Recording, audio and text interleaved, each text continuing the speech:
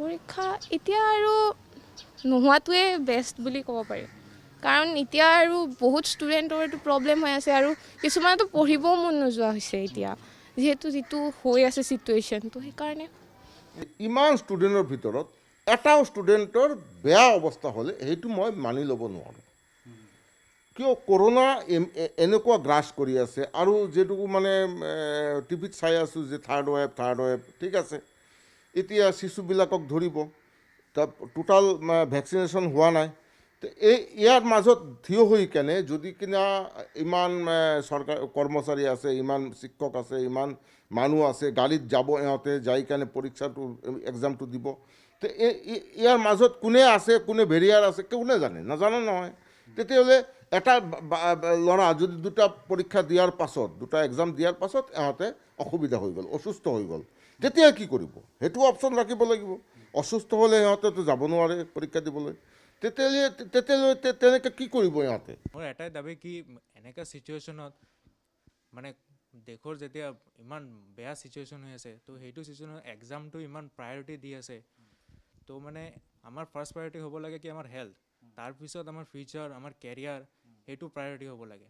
এতিয়া যোৱাকালিও যেনেকৈ আমাৰ এডুকেশ্যন মিনিষ্টাৰে ক'লে কি নাই এক্সামটো হ'ব চবে যাতে ৰেডি হৈ থাকা। তো সেইটো কি মানে ৱেট ক'লে তো আমি ষ্টুডেণ্টছ একো গমেই নাপালোঁ।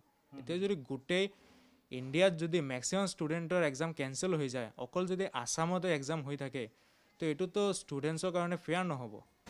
পৰীক্ষা মানে হ'ব লাগে কিন্তু আমি সেনে এইটো ফিজিকেলি দিব নোৱাৰিম। যেনেকুৱা কেচেছটো বাঢ়ি আছে।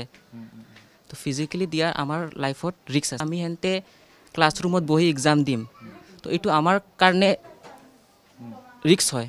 আৰু আমি যদি ক্লাছৰুমত ক'ভিড পজিটিভ ওলাই যাওঁ আমাৰ যদি আমি ঘৰতো যাম ন ঘৰত যদি আমাৰ পেৰেণ্টছবিলাকো হৈ গ'ল তেতিয়া আমাক কোনে চাব? কেতিয়াবা সদায় গালি পাৰোঁ?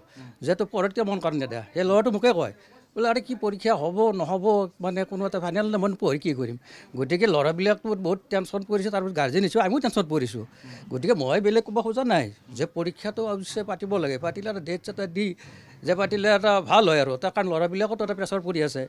হা তেওঁলোক এটা ফ্ৰী হৈ যায়। বহুত শিক্ষাৰ্থীৰ অভিভাৱক হেৰুৱাইছে।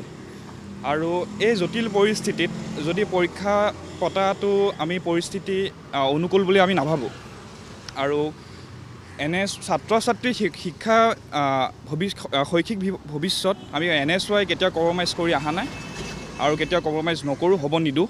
এইচ এছ আৰু এইচ এছ এল চি মিলাই।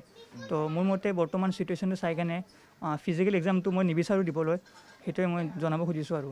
আৰু ৰাজনজ পেকো ডাঙৰীয়াই কৈ আছে যে এক্সাম হ'বই হ'বই। তেওঁ যেতিয়া আহে খালি এটাই কথাই কয় হ'বই হ'বই। কিন্তু এতিয়া ন এটা কথা যে ক্লিয়াৰলি নকয় যে কেতিয়া হ'ব। এইটো ক্লিয়াৰলি যদি কৈ দিয়ে আমাক আমি হ'ব আমি প্ৰিপেয়াৰ কৰিম। কিন্তু এইটোও নকয় যে কেতিয়া হ'ব ডেটো নকয়। আজি জুন মাহ হৈ গ'ল জুলাই আহিব আগষ্ট।